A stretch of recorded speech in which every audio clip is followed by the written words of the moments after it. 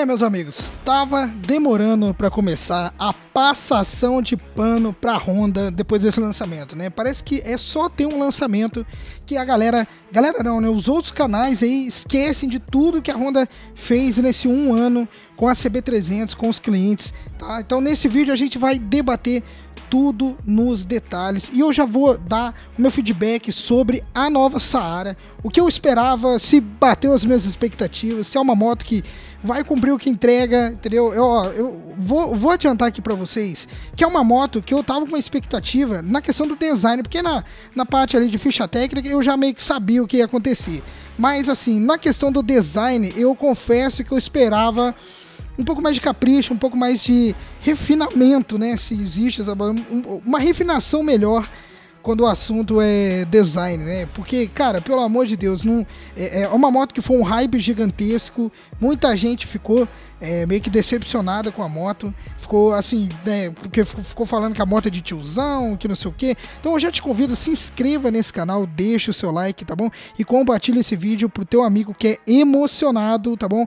Manda esse vídeo para ele, porque eu tenho um amigo também que é emocionado por falta de aviso, não foi, e ele pegou o consórcio da XRE, foi contemplado já tem uns 3, 4 meses e tava para sair a moto dele que ele tinha pedido. Eu falei, cara, espera que tá para lançar uma nova moto. Não, não esperou e tá aí agora, chorando horrores, né? Mas enfim.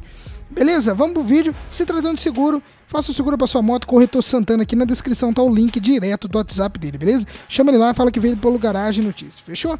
Então, beleza. Galera, vamos falar sobre a Saara. Pois bem, eu tenho o vídeo promocional aqui que eu vou soltar no meio, no meio do vídeo aí para vocês, mas eu, eu separei algumas fotos aqui pra gente dar uma analisada, né?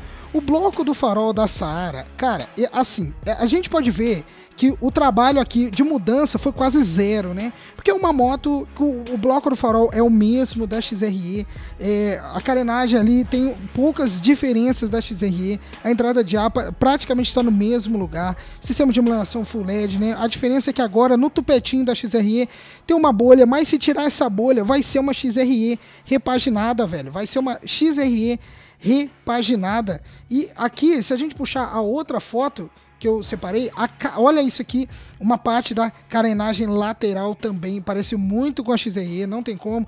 Olha isso, cara, o, o, o trampo dos caras foi anos de desenvolvimento dessa moto, né? Não tô falando que é uma moto é, ruim, feia de todo caso, mas é só alguns pontos que ficou desapercebido por alguns canais que eu tô mostrando para vocês agora, que é em relação a rabeta da moto, a traseira, né? Olha isso, cara, é idêntico da XRE, é idêntico. Vamos abrir a traseira da XRE aqui. Uma coisa que antes da gente ir pra rabeta, olha o bloco do farol da Saara e agora o da XRE 300 que saiu com essa com essa pontinha aqui, né, com o paralaminha dianteiro aqui que a galera gostava muito e olha a Saara XRE. É, converso para vocês que a mudança foi basicamente, né, algumas coisas só na mudança aqui. Esse farol é idêntico ao da CB200X, beleza? E a lanterna é a mesma coisa. Quer ver? Vamos pegar a foto da lanterna agora? Olha a lanterna da XRE 300. Vamos abrir agora aqui da Saara. Olha, é idêntica, cara. Não tem o que tirar. É a mesma, é a mesma rabeta, tá? Não mudaram nada, é a mesma. Olha, até a curvinha aqui embaixo do plástico, com essa sobra aqui, ó, com esse vão que tem aqui na rabeta, nas, na XRE é a mesma coisa. Então, a Saara não mudaram praticamente nada, nada na moto, né? Então, o esforço aqui foi mínimo, né, gente? Eu, eu tô mostrando pra vocês aqui. Mais uma foto da, da Saara de lado, como vocês estão vendo. É uma moto que, cara, lembra muito a Teneré 250. Eu, se fosse armar, eu processava a Honda, viu? Tá muito parecido com a Teneré, velho. Nossa. Então, olha esse. Só o escapamentinho, né? Que tem alguns que estão falando que o escapamento ficou feio, parecendo a arma do Master Chief, lá do Halo. Quem joga videogame, desculpa minha nerdice, mas é isso, né, cara? E também a gente pode ver que tiraram a pontinha aqui. A moto ficou assim, ficou legal, né? Ficou a moto, ela ficou bacana, ela ficou na sua proposta, mas não é uma moto que ficou assim bonita pra dedéu. Que nem alguns canais aí que eu já vou explicar para vocês por que, que tem canal passando pano. Que eu, cara, tenho, eu, eu, eu acho que não é pra tanto, tá ligado? Mais uma foto do motor, né? Que é, o, é aparentemente, aparentemente não, é o mesmo motor da CB300 que dá pra gente ver aqui embaixo. Vamos ver se a potência vai subir. Agora o painel. O painel da é, Saara. Cara, eu vi um vídeo de um canal relevante na O cara faltou jogar um tapete vermelho pra Honda em relação a esse painel. Gente, é sério. Agora é sério mesmo. Eu vou falar um negócio pra vocês. Quem que já não esperava que ia ser esse painel aqui na Saara? Precisava de tanto alarde assim, pela. Cara, tem canal que faltou rasgar o esfíncter na unha depois que viu esse painel, é o mesmo painel da CB300. Não tô falando que é um painel ruim, mas precisava de todo esse alarde, cara. Precisava de, de toda essa euforia, porque é uma moto, é uma moto que assim, é, agradou, mas não agradou tanto, tá ligado? É uma moto que, tipo assim, dividiu muitas opiniões.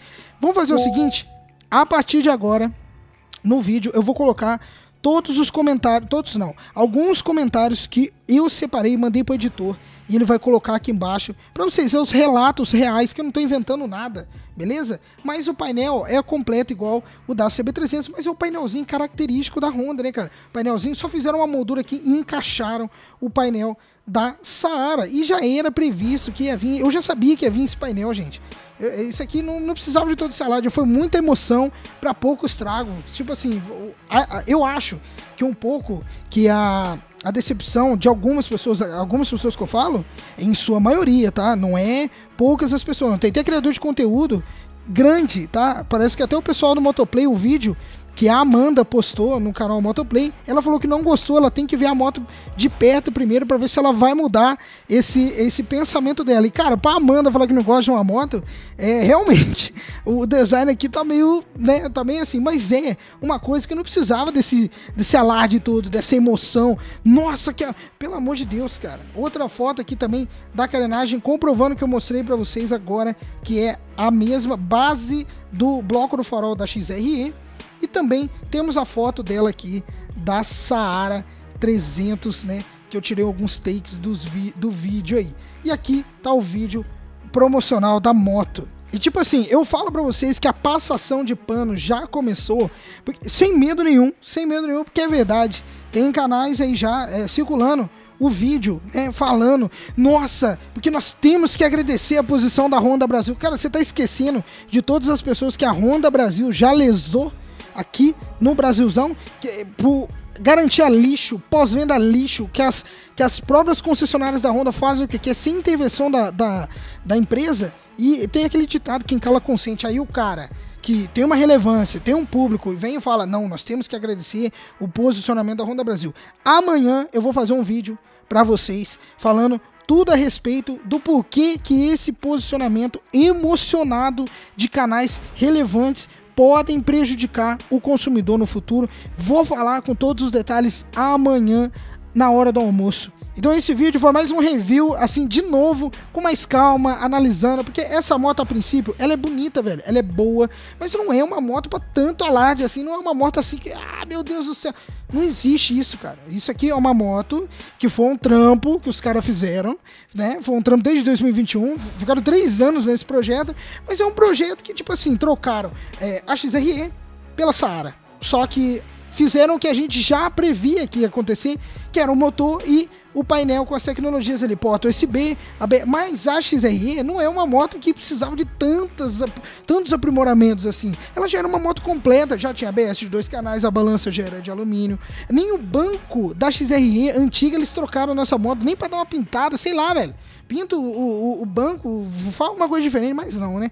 Esse foi o meu feedback e amanhã eu vou fazer um vídeo é, falando mais a respeito do porquê que essa emoção na hora de, sabe, é, falar a respeito da, da, da moto, fala, principalmente da empresa Honda, vai prejudicar de novo o consumidor no futuro, você pode ter certeza, beleza, meus queridos? Então esse foi o vídeo.